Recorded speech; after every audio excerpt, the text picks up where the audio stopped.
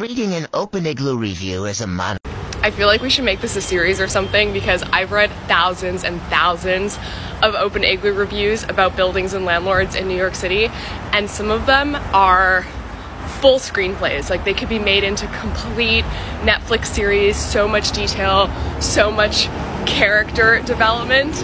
Um, I'm gonna have to like dig up a couple that I might do some dramatic monologue readings for. I know it's a bit early for Halloween, but I think the ones that stick out to me always are like the ones about like hauntings or like poltergeists. And honestly, there was one review I read recently where this reviewer was like dead serious in every other section, like pros like love the location, the rent is really affordable.